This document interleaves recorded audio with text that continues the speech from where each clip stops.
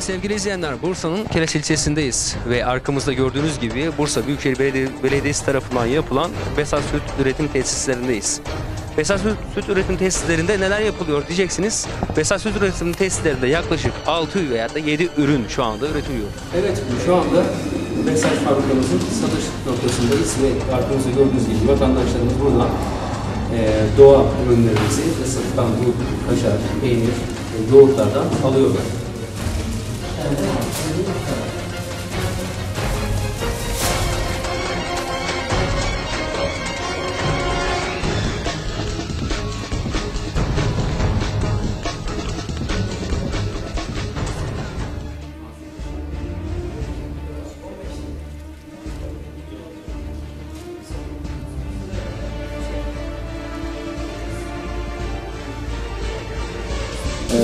Bu bölgemizde yetişen hayvanların sütleri işletmemize getiriliyor. Tabii gerekli analizler yapılıyor. Antibiyotiğine bakılıyor, pH'ine bakılıyor. İçindeki değerlere bakıldıktan sonra işletmeye alıyoruz. Hangi ürünü işleyeceksek işleyeceğimiz ürüne göre standart değerlerimiz vardır. O değerlere uygun ürünler üretip burada satış mağazamızda satılıyor. Ayrıca Bursa'da da yaklaşık 200 noktada şu anda satışımız gerçekleşiyor. Peki eee Evet, gıda mühendisi. gıda mühendisiniz. Eee, şu anda fabrikamız Ekim ayından itibaren zaten hizmet vermeye başladı. Doğru. Eee, peki neler üretiyorsunuz fabrikada? Biz öncelikle Ağustos ayında yaklaşık 2 aylık bir deneme üretim sürecimiz oldu. Bunda hem ürünlerin lezzetine, kıvamını yakalamayı e, hedefledik.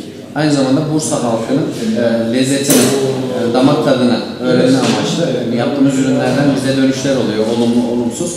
Biz de ürün spektrimizi hem genişleterek hem de e, daha kaliteli bir ürün sunmak amaçlı bu 2 aylık deneme sürecini geçtik. Şu anda da 4 aydır günlük yaklaşık 5 ton işlemekteyiz. Önümüzdeki hafta kısmet olursa 13 tonlara çıkacağız. Peki Musa Bey, eee, buradaki üretimden önce eee, süt topluyorsunuz. Genellikle bu dağ yöresinden süt topluyorsunuz? Geneli doğal herhalde anladığınız sütler. Bu yöreden topluyorsunuz. Yoksa Bursa'dan falan civar köylerden süt geliyor mu Bursa civarında? Bu, bu yöredeki sütü kullanmayı tercih ediyoruz. Zaten e, buranın kurulmasının amacı hem istihdam sağlamak hem de buradaki hayvancılığı e, arttırılmasını sağlamak. Şu anda sütlerimiz 10 kilometre ileriden Baraklı, Pınarcık, Dağdevi köylerinden geliyor. Yakın zamanda da e, diğer köylerdeki köylerdeki sütler de fabrikamıza gelecek.